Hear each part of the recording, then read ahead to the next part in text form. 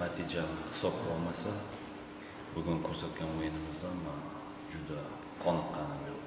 nima uchun bugun bu to'qqizta tur bo'lib o'tgan o'yinda eng yomon ko'rsatgan o'yinimizda qaniydi ishonchli g'alabani qo'lga kiritdik bu faqat mani natija qoniqtiryapti bugungi bolalarni harakati umuman menga yoqqan shuning uchun faqat futbol bu ну bugun bizga natija muhim edi mayli agar chiroyli futbol ko'rsatmaylar natijaga erishayotgan bo'lsak unda xursand bo'lish mumkin lekin murabbiy ham natija ham futbol muxlislar uchun o'ynaladi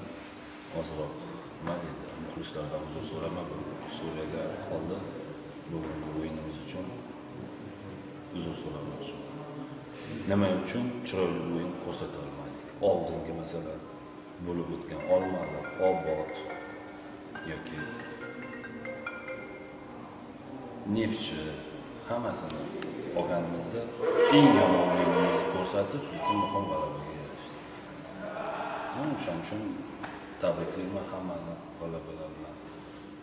nima deydi ishlashda davom man bugun nima uchun asabiylashdim oldinda muhim o'yinlar turibdi. И bizni asosiy ikkita uchta markaziy himoyachimiz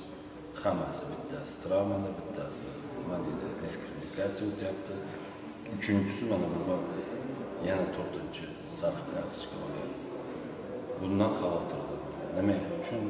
bunday balaga demak qayerdadir yo'l nima deydi kamchilikka xatoga yo'l qo'yyapmiz shuning uchun hechqanday mas'ul lekin har bir murabbiy uchun bor ularni o'rnini to'ldirish